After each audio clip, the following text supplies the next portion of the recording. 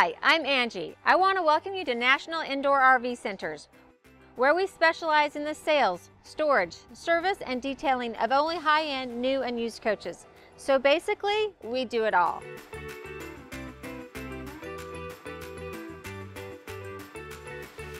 Hi, I'm Angie with National Indoor RV Centers, and today I'm so excited to test our RettroBand run flat device. We are so confident in this product that we brought our founders, Rob Craig and Brett Davis.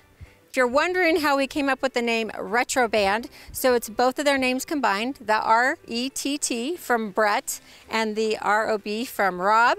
So we have a RettroBand run flat device and we have a brand new 2022 Entegra Cornerstone on 365's 605 engine. Attach an explosive device to the tire. And we are so confident in this product that they're actually going to be the driver and co-pilot while we're doing this testing. Now, I'm not going to be in the coach because someone's got to run the shop if anything happens to that. No, I'm kidding. I'm sure that it's going to be great. So tell us a little bit about why you're so confident in the product, Rob. We've designed something specifically for these heavy coaches running on aluminium wheels. That's aluminum for us, you, you know, yeah. USers. and uh, we all have a fear when we're rolling down the highway at 70 mile an hour and you you got something 54 odd thousand pounds in weight and 21,000 pounds up the front end. Should you get a blowout on the front wheel, the only thing you can do is panic and hold on without any safety device at all. So we've created the RettroBand specifically for these heavy coaches. You'll be able to drive this thing on the band and feel confident as we are and we're going to do it. We're going to show you how it's done today. You kind of know a little bit about this coach, right, Brett?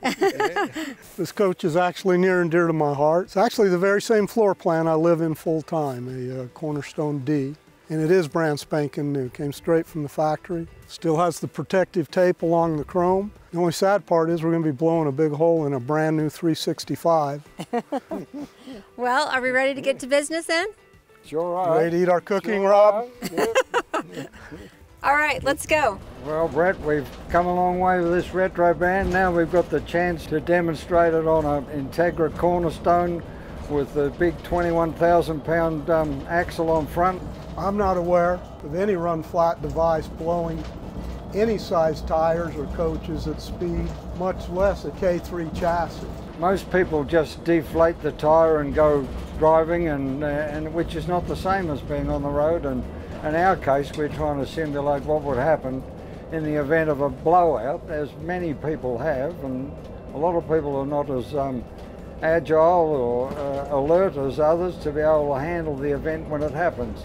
Put it on cruise at 70 miles an hour. I don't have my foot anywhere near the brake or the accelerator. No, just let it go. We're in the in the hands of the guy working the explosives now. They'll blow the tire and we'll see what happens. Yeah, see what happens.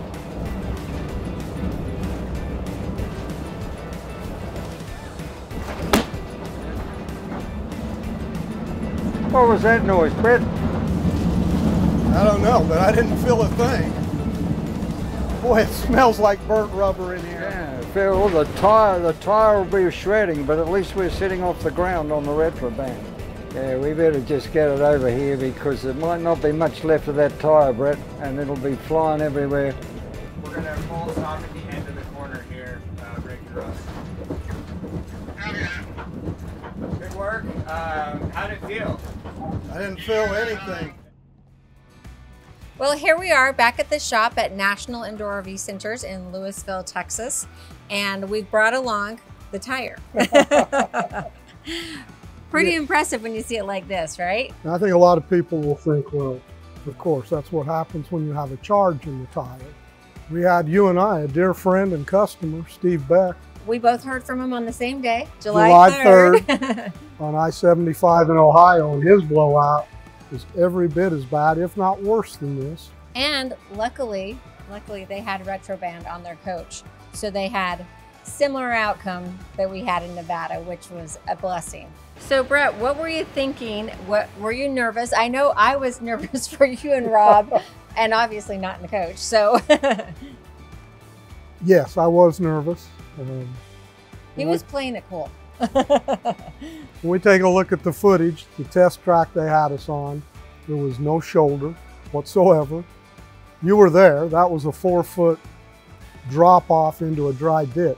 There really was no area for forgiveness. If, if it didn't perform as we had hoped, if the rim had hit the road, you would have been in that ravine and the, the coach would have turned over.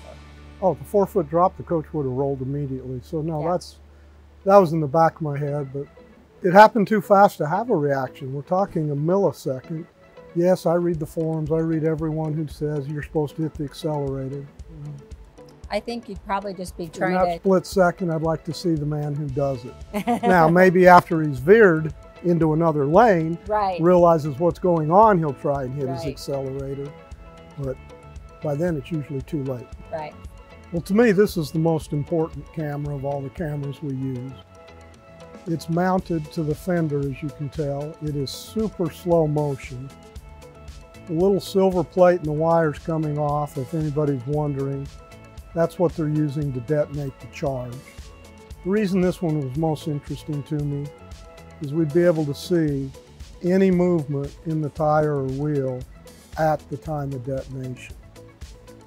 So as you see, the tire explodes and there's very little movement. I was shocked that there wasn't more of a drop.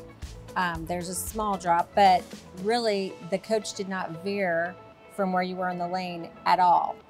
I was so amazed when I watched the footage of you and, and Rob is that literally the steering wheel didn't move, your hands didn't move. You really didn't. Your reaction was not nearly as fun as I thought it should be. I really expected you to at least, you know, jump a little and you didn't. So that means that the only thing that even alerted you that something happened was the sound The and the smell. the sound, the smell definitely confirmed it. You know, after something like this happens and you reflect on it, the four things that ran through my mind, and really in this order, was how dang loud the explosion was. I bet. Between the charge and the tire blowing, it left my ears ringing. The second thing I felt was a slight drop of the coat. It felt like I'd hit a small chuck hole. It just kind of dropped a little. So a non-event. it was a non-event because I third felt nothing in the steering wheel, and the fourth sense that I remember is the cockpit immediately smelling like burnt rubber. Well, and that's what I was so amazed when I watched the footage of you and, and Rob is that literally the steering wheel didn't move, your hands didn't move. You really didn't. Your reaction was not nearly as fun as I thought it should be. I really expected you to at least, you know, jump a little and you didn't. The other amazing thing was when I looked at the footage from the drone, the coach did not veer out of the lane at all, did not pull towards the inside um, since it was the driver's um, front tire. That was really impressive as well. Um, we saw that it was a non-event inside the coach, but from the drone footage, it it just kept on going. It was a non-event, and this was on a uh, very heavy coach. They don't, unless you get into a bus conversion, they don't come any heavier. Well, I'm really glad that you and Rob survived this test. so now I know our viewers are dying to see how the RettroBand fared. So let's go ahead and get this tire off. Thank you so much for your time. I'm going to give you permission to go back to work. Thank you, Angie. Thank Take you. care. So we've got Jack here, chassis tech at National Indoor RV Centers.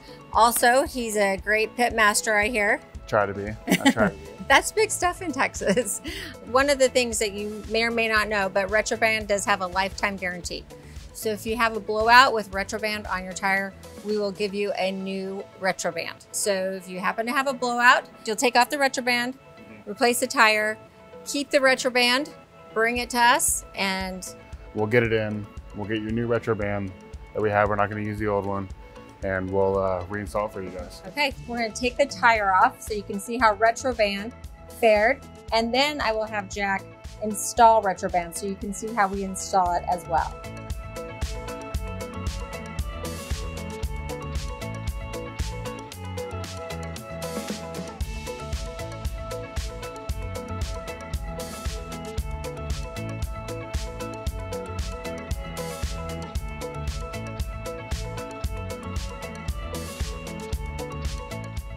So here's the back side of the blown tire. Mm-hmm. And before we go any further, I just wanted to like how how do I know that the RettroBand is fully intact? So one, this usually is the sign that we've gotten. Both sides are going to kind of look like this when we kind of get them together. Okay, because that's the gearbox that brings. Yeah, they're fully not going to close, but that box is, you know, closed up for it, and I can even check with the tire iron that it will not move. Yeah. Okay, so it is fully intact. Yes, It looks like the RettroBand's moving. Actually, it's just I'm actually it's moving the whole your rim and pure the tire. muscle. Yeah, trying to. I think it's important to note a few weight specifications. This aluminum wheel is rated to 10,500 pounds. However, RettroBand has been tested at 75 miles per hour and withstood sudden impacts of 30,000 pounds, almost three times what the tire or the wheel are rated for. So, Jack, you've got the RettroBand taken off yep. and we've got it laying here. To me, it looks almost exactly like the brand new set. And unbelievable that there was actually a blowout on that RettroBand. Oh yeah, the only kind of difference I see is on the outer side, you're going to have a little bit more wear and tear just because it was carrying a whole, Yeah. you know, Entegra cornerstone after it uh, had the blowout. Right. So that's about it. Like you don't, you're not going to lose any kind of rubber on the outside. And on these version twos, you have the uh, steel band that actually holds these pins in. So when the gearboxes actually do pull in these pins in, when they're actually driving, the centrifugal force is not going to pull the band apart. Or when you have a blowout, it's going to withstand it and it's going to hold like it did in demonstration. So we've got a lifetime warranty on RettroBand. So let's go ahead and take that brand new uh, set and install it on the tires. And as we do that, as you do that, I'm going to let him do all the work. Um, I will kind of walk through the benefits and features of RettroBand. The RettroBand is made from two halves of hardened rubber, which is reinforced by a stainless steel band inside, which runs from pin to pin. A metal pin is inserted through both the RettroBand and the stainless steel band inside the RettroBand, and then lined up to allow access of the threaded bolt. This is done on each side of both halves of the RettroBand, four pins in all. A threaded bolt and gearbox is used to join the two halves of the RettroBand together. The gearbox is lightly turned or cranked to make a secure connection. Next, the wheel is prepped for RettroBand. The tire mounting lubricant is applied around the tire as well as the aluminum wheel to aid in both the dismounting and reinstallation of the tire without damaging the bead of the tire. The RettroBand, held together by a single gearbox and threaded bolt, is placed gently inside the tire. Once inside, a threaded bolt and gearbox is added to the other side, and the gearbox is cranked a little more to bring the two halves yet closer together. Anti-seize is applied to the threaded bolt on both sides of both gearboxes. Due to changes in temperature, moisture is created inside of every tire. While the threaded bolt, gearbox, and pins are coated to prevent any rust, the anti-seize is an added measure of protection to prevent the threaded bolt from ever seizing up should any rust occur over time. Now, the wheel is rotated to the opposite side, and the other gearbox and bolt are tightened. Jack will go back and forth, tightening each side a little at a time. The reason for the back and forth tightening of each side is because we're bringing two semicircles together with a straight bolt. The two halves must come together equally to prevent any bending of the threaded bolt. Once both sides have been tightened to 25 pound-foot of torque, the tire is inflated just enough to seat the bead. After the bead has been seated, extra care is taken to finish inflating the tire inside of a protective cage. The tire will be inflated to the manufacturer's specifications based on the actual front end weight of the coach when it's fully loaded. I've seen this guy work all day today. This is hard work. Little warning don't try this at home. This is super heavy, and you're not just sweating because it's hot out here, right? No. so it's installed. Now you're going to balance it. Uh, yes, so I had to balance the tire, the wheel and tire after I installed the RettroBand before I can mount it on the newel behind us. Great. And we are mounting it on great customers of ours. Uh, Chris and Tammy will now be protected by RettroBand. Thank you so much for taking the time out of your day to do this with us. Now that you've seen how RettroBand performs, I'm sure you're wondering how it differs from other run flat devices on the market. Rob Craig has worked with all the other run flat devices out there on the market in his 35 years providing run flat devices for armored vehicles. The other run flat devices are designed to keep the tire on the rim. RettroBand is designed to sit above the rim, your rim never touching the pavement, which is key. One of the things that would really take the motorhome out of your control. If you look to my first video, you can see where I compared a military run flat device to RettroBand. With a military run flat device, they are designed to withstand a um, projectile like a bullet. They are tested on a deflated tire and they're designed to get you out of a kill zone. So very different from a motorhome where we tested it at speed, 70 miles per hour, with a catastrophic blowout. You may think what's good for the military would be sufficient for you and your motorhome. It's not the case. The weight is completely different. The heaviest armored vehicle that's on tires is half the weight of a motorhome. And with a motorhome and a catastrophic blowout, you're going to have an impact of, you know, on this big Class A diesel, like 21,000 pounds instantly. So you want to have something that you can ride on, that's going to keep you safely on the road. And as you can see in our test, the motorhome didn't even veer out of its lane. I hope we have proven to you how RettroBand is different than any other run flat device out there on the market. We specifically made it for motorhomes.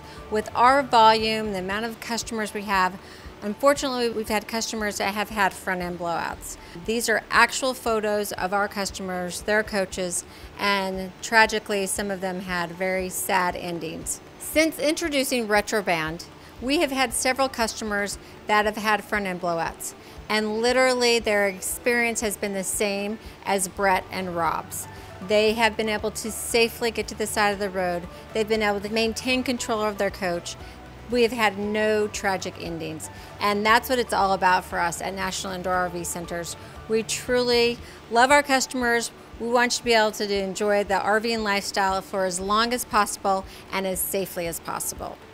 Don't delay in calling us. If you are interested in this tested and proven product and you want to protect your family and this wonderful RVing lifestyle, please give us a call or visit our website www.rettroband.com. We want to hear from you, we want to take care of our customers. Thanks so much for watching and have a wonderful day.